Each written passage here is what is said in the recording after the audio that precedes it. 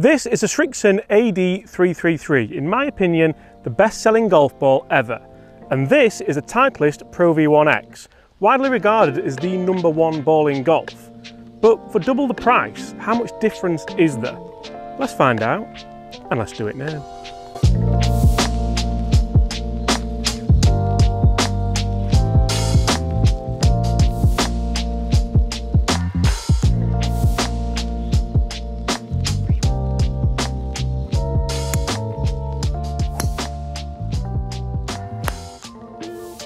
Everyone, James Robinson here guys. We're going to get straight into it today and we are going to test the Titleist Pro V1X against the Srixon AD333. Guys, if you're new to the channel, welcome. Make sure you do consider hitting that subscribe button below, then you won't miss the golf related content I bring to you guys 365 days a year. And if you're not new to the channel, welcome back. Cheers. Right, we'll kick things off with closest ball that lands to me. That one, the Srixon AD triple three. And guys I would usually do this on a launch monitor as well. But to be honest we all know that this is where it counts out on the golf course. So let's see what we get the lowest score with. The 20 pound a dozen Srixon or the potential 50 pound a dozen Pro V1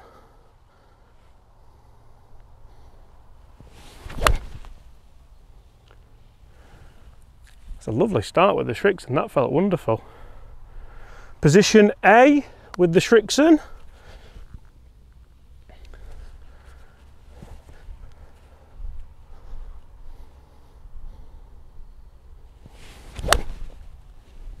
Well, a tiny bit left with the Pro V1, but that's fine. Both in play. Let's get on with it. Now, whenever I do ball comparisons or ball tests or product tests in general, I always think to myself, how much difference do I need to see in my game to warrant buying that product instead of the other one? And I think that with golf balls quite often because, again, I think how good do you have to be to see a huge difference in the golf ball that you use? Should you buy a refurbished golf ball? Should you buy a second-hand golf ball? Should you just buy a cheap golf ball off eBay that you're going to lose a couple of times in a round and still play some half-decent golf with? But then if you're at a certain level, if you're a low handicap, if you're a mid handicap and you're yearning for that consistency, should you be paying top dollar for a golf ball, such as the Pro V1 and Pro V1X. So as you can see, we have a Srixon right in the middle of the fairway there and a Titleist Pro V1X that's actually just missed the fairway. Quite unlucky really because the fairway is only there. Now the Titleist Pro V1X is a four-piece golf ball with a urethane cover. So generally what that means, it's gonna have a nice soft feel, you're gonna have a good penetrating flight, and generally the ball will rise up into the air. The Srixon, however, is a two-piece golf ball with an ionomer cover, which is a little bit more of a harder plastic. So generally that means the ball's going to set off that little bit higher, that little bit quicker. Right, we hope oh, bloody hell we have 170 yards in here. Did not expect that. How much difference will the four piece and the two piece and the last elastomer and the ionomer make to your game? I really don't know. I got all the big words right then and then messed it up at the end. Right, not a flag you're wanting to attack. So we're just going to go for middle of the green.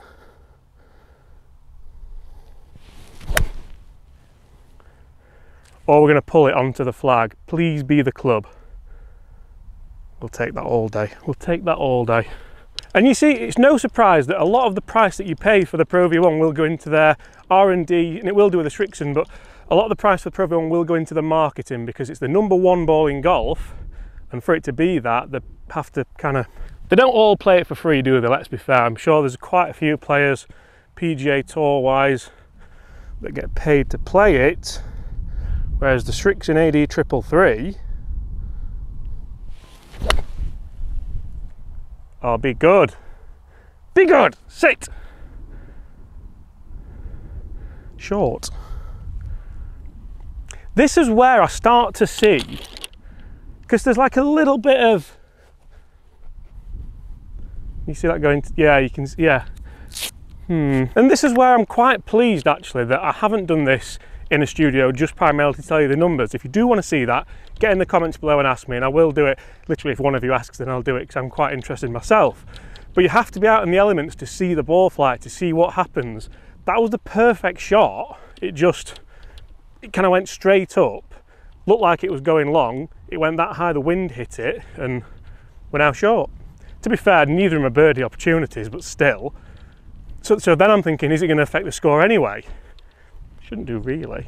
Realistically there, the Srixon was bang on line and the Titleist, actually that's a tiny bit short as well. However, I did think that was kind of slightly more penetrating. Let's play a decent chip, hopefully a decent putt, and get away with two fours. I'll know what's coming here. And it is quite a funny one because do you pay big bucks for your golf ball so you get that green side control and that nice soft feel? The last thing you want to do is play a chip and it run out when you think it's going to have a bit of stop on it.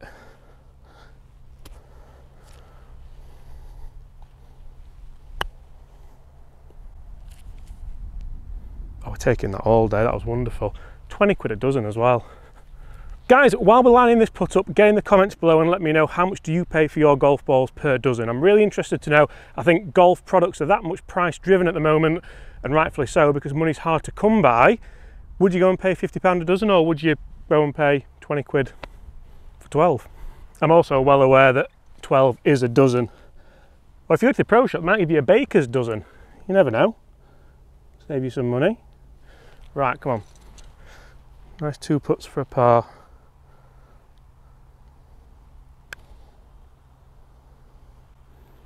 Have we got the line? Go in! Oh! Now a huge factor for me when I do choose my golf ball is how it feels off the putter. And I must say that the Pro V1X does feel really soft off the putter, which is exactly what I do like. The Srixon's actually closer in three, if that means absolutely anything at all, which I don't really think it does, but let's roll these in.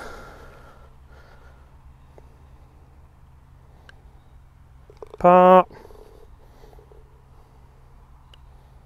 par. Two fours on the first, one for 50 quid, one, oh I nearly pulled it at the camera there, one for 20. Hmm. Now, not all choosing a golf ball is marketing. They do have technology behind them and generally that can help you with the game. Let's see exactly what the brands say about these balls. So the Titleist Pro V1, total performance with high flight. That's pretty much everything you would want, isn't it? The benefits are long distance with a consistent flight, low long game spin and high trajectory, drop and stop short game control, that's trademarked by the way, drop and stop, and soft feel. The features are a soft cast urethane elastomer cover system, which is what we mentioned earlier on about the covers. It's a fast casing layer 2.0 ZG process dual core. That sounds like a computer, doesn't it? And spherically tiled 348 tetrahedral dimple design. I said tetrahedral, I think I've said it right, but I got it first time as well. So, what does Srixon say about their ball? Srixon say the AD333 is a premium premium. I thought it was like more budget, but premium, lower compression golf ball that delivers superior balance performance for golfers who demand exceptional distance, feeling greenside control. Now for 20 quid, if that's right, I'd take my hat off. I have to take my hat off. My hair's terrible. I didn't want to take my hat off. Hats off to you, Srixon. So that has a new fast layer core, spin skin with SeRM, I have said that right, SeRM, and also Speed Dimple. Less drag and more lift boosts overall distance and accuracy even in the toughest wind conditions. I did feel like that one got caught up in the wind though. And the funny thing is about all that technology I've just reeled off for you hopefully in about 20 seconds is, do you see it? But then I suppose with any golf technology, do you see it unless you're in a fitting and you're on the launch monitor? We made two fours on there. Hopefully we'll make a couple of decent numbers on here, try and get under par for the video. The real thing is you'd have to test it over like 10, 15 rounds playing almost like a robot playing pretty well. I can't do that. And if you, if you guys can then by all means, let me know your findings. Okay, I absolutely love this tee shot and I think this time we'll go Pro V1 first because we went Srixon first last time. And the interesting thing is whenever I do golf ball videos with the guys from Titleist. They're always really helpful. They're always helping me out with what the golf balls are supposed to do. Should you get fitted for a golf ball? What golf ball should you get fitted into? And the answer they always come out with is pick a golf ball that matches your budget. Um, I mean, that Pro V1 isn't matching everyone's budget, but then I suppose the other golf balls in Titleist lineup are. But why don't the people who buy the AD triple threes buy the cheaper Titleist balls? Don't know. Don't know. Right, come on. Love this tee shot.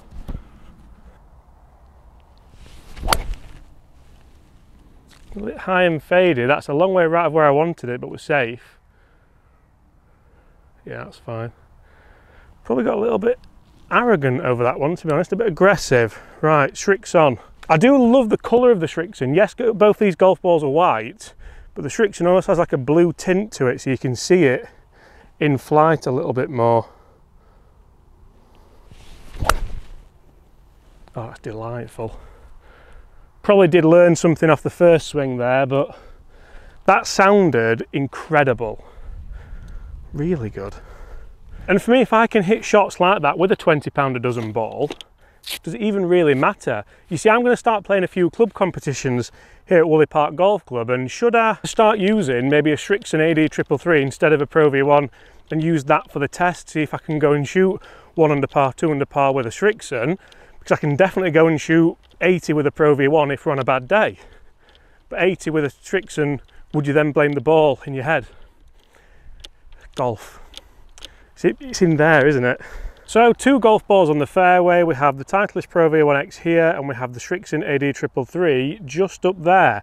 Now, if we are taking marks, that's two tee shots to the Srixon and it felt really solid on both of them. Is that down to my game? Is that down to my swing? Absolutely, yes it is we have 123 to the front 137 middle flags just on the front this is about a one about a 130 shot. And if we're thinking logically here this is i mean am i gaining anything from having a 130 shot as opposed to a 100 shot? Maybe i'm going to be hitting a gap wedge instead of a pitching wedge but realistically it shouldn't have that much of a say we're going to hopefully use the bank. This is where I feel more confident and this is interesting. So the flag here on the second hole is on the front. Now this is a two tier green. I always, always, always use that bank if the flag's on the front because I have more of a wider landing area or a bigger landing area. I'm more confident doing that with a Pro V1X because I know it's going to stop, drop and stop TM. But also I'm more confident that it's not going to fly on me or it's not going to get caught up in the wind and not go the distance we want it to. That should be perfect. Go on. Ooh. I think it's like behind the bunker, which isn't a bad thing, at least it's not in it. And with the Srixon, I'm getting way too close to that ball there, we have 97 to the front, 109 to the middle. So again, about 100 yard like we said, with this bad boy. Could we go sand wedge? I think we'll have to hit it too hard really. Let's trust the ball, trust its capabilities. Come out of that, but it's safe. Yeah. Not the shot we wanted, and again, more down to me than potentially the ball there. So as we go up here, I can now see them both. We've got the Pro V1X just over the bunker and the Srixon just on the right hand side of the green. So two pretty decent shots there. Some nice stopping power with the Srixon. If I would have landed it on that bank where I wanted it to, it would have probably have taken the bank and come down. The Pro V1, it's quite wet here actually, as you can see, so that's kind of stopped where it was. Usually that might go forward and back, but two decent attempts. We'll go kind of match play scenario and furthest away first, even though the Pro V1's not quite on the green. Come on, let's have one of these in. Let's have both of them in. I'm a huge fan, by the way, of the lineup mark with the AD 333. That, I love how kind of blunt it is, I love how bold it is, and like the Pro V1's just a little bit more refined. I think they're trying to make it look more premium with that really fine Titleist writing, whereas the Srixon's like, yeah, I'm 20 quid, I'm a Srixon, bang, line me up. Done. Hit it, hit it! Oh, you had it, James. That's a part. Now we can't line this up because it's not placing. It is a little bit moist though on the edge do not fall in there. We'll repair that. A bit of mud on the ball as well actually.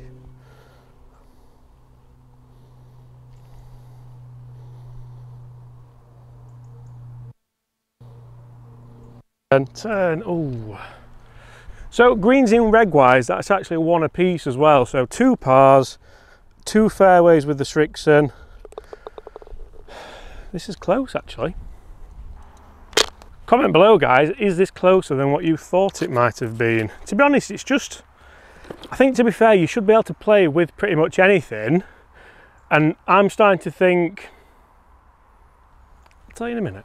I'll tell you in a minute. Okay, I'll tell you now. I'm starting to think that if your main hobby is golf and you spend a lot of money on your clubs and you have lessons and things like that, I think a premium ball definitely helps to get every little bit out of what you want. I think if you're going to go and get a brand new set of clubs, you're going to have one lesson a month and you're going to go and practice a lot. Why would you scrimp on the ball? I mean, if you lose a lot of balls and you're new to it, totally get it. The AD triple three is perfect for a lot of people like that. But if you're trying to get every little ounce of ball speed you can out of your golf clubs, if you're trying to get the spin rate in the exact window that you want, I definitely think a premium ball is going to help you do that. Now we've chosen the Pro V1 today because it's the number one ball in golf and it works for the title. But it could be a TP5, it could be a Callaway Chrome Soft, it could be any number of golf balls that you might potentially use. Just check what technology in them, check what the cover's made out of. More importantly, go and get fitted and test them for yourself because what ball works for me might not work for you, might not work for Bob, might not work for Chris. Nothing really works for Chris. Right, we'll go this one first which is the AD triple three, and this is a drivable hole if we get it away. No, it's safe. It's actually a good, good miss, but not uh, not the flight we wanted. Let's see what we can do with Pro V1 X. And again, this comes down to my consistency. It doesn't come down to. There's nothing wrong with the ball there. I'll try and hit the same shot again.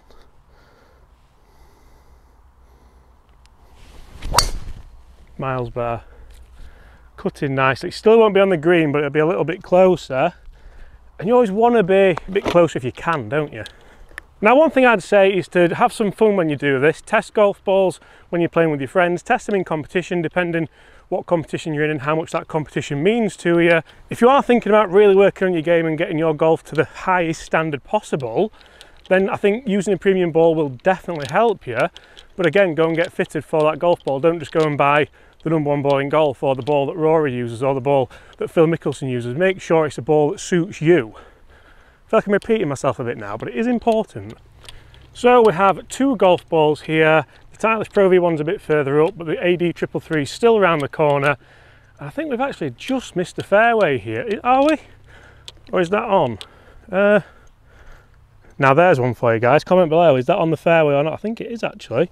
Looking at I think we are, I think we are. So that keeps up the record of the Srixon hitting all the fairways. And funnily enough, we've got a miles better angle in with the Pro V1. I didn't know where that flag was. So that is more just by luck rather than hitting the good shot. If the flag was kind of up left, then it wouldn't really make that much of a difference what we hit off the tee. What have we got here? 60 yards over the bunker. Land it 50, let it release a little bit. Let's make a few birdies.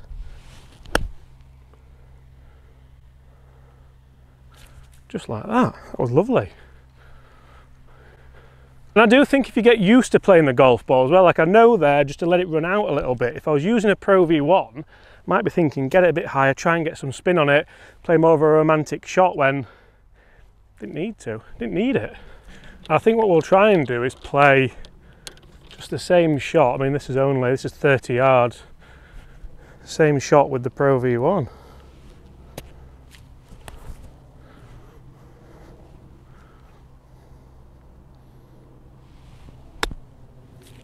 Delightful.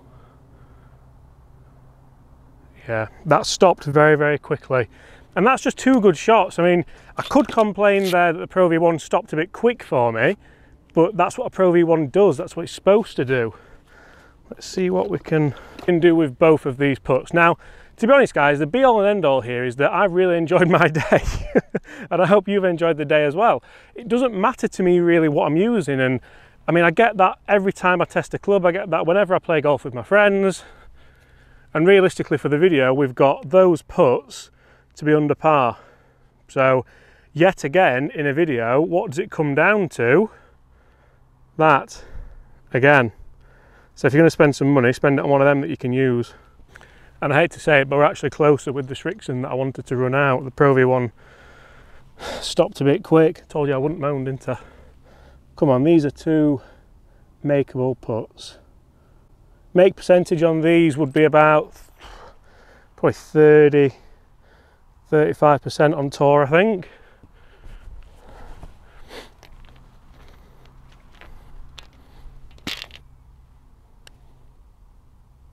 Oh, I actually thought we had that halfway. Right, Srixon to take the win. One for the budget.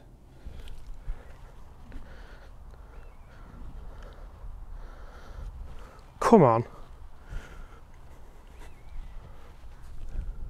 This to save some incredibly dull golf.